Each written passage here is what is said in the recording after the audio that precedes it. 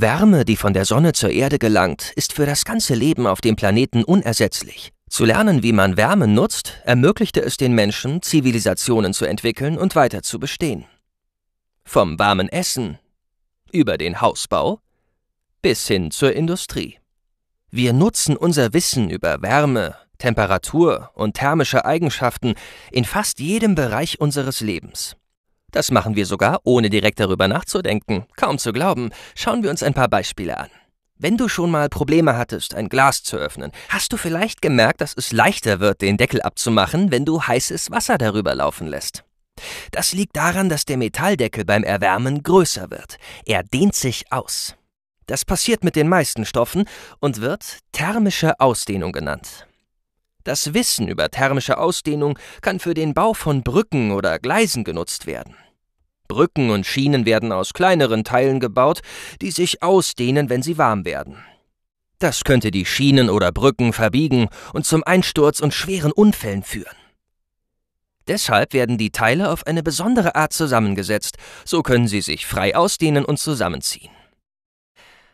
Ein weiteres Beispiel für die thermische Ausdehnung von Stoffen sind Geräte, die wir nutzen, um die Temperatur zu messen. Thermometer. Sie nutzen die Ausdehnung von Metallen oder Flüssigkeiten wie Quecksilber, um anzuzeigen, wie warm oder kalt etwas ist. Da wir die Temperatur messen können, können wir auch feststellen, dass Wärme von wärmeren zu den kälteren Stoffen wandert und dass das auf unterschiedliche Arten geschehen kann. Sie kann durch direkten Kontakt übertragen werden, wie von einer heißen Herdplatte auf die leckere Suppe im Topf. Sie kann in Form von Strahlung zwischen weit entfernten Objekten durch die Luft oder das Weltall reisen, so wie zum Beispiel die Wärme von der Sonne, die auf der Erde ankommt. Die Wärme kann auch durch die Teilchen in Flüssigkeiten und Gasen transportiert werden. Du kannst das merken, wenn die von der Heizung erwärmte Luft sich im Zimmer ausbreitet. Aber manche Stoffe oder Materialien machen es der Wärme schwer, sie zu durchdringen. Wir nennen solche Stoffe oder Materialien Isolatoren. Ein Beispiel für einen Isolator wäre ein Wollpulli, den du im Winter trägst. Er hält dich warm, weil er deine Körperwärme nicht durchlässt.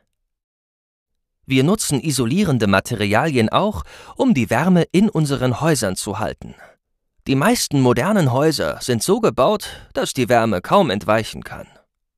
Dadurch reicht schon die Wärme der elektrischen Geräte und des Menschen in den Wohnungen, um die Häuser warm zu halten. Solche Häuser brauchen oft keine extra Wärmequelle, wie einen Kamin oder eine Heizung. Das macht sie sehr umweltfreundlich und energieeffizient. Wir nennen sie Passivhäuser. Während Passivhäuser die ganze Wärme drin behalten, macht ein Kühlschrank genau das Gegenteil. Er nimmt die ganze Wärme von innen und transportiert sie nach draußen. Dadurch bleibt es im Kühlschrank selbst am heißesten Tag kalt. Ein Kühlschrank ist ein Beispiel für eine Wärmepumpe. Wärmepumpen können auch heiße Luft in unsere Häuser rein oder rauspumpen oder Wasser, das wir zu Hause nutzen, erwärmen.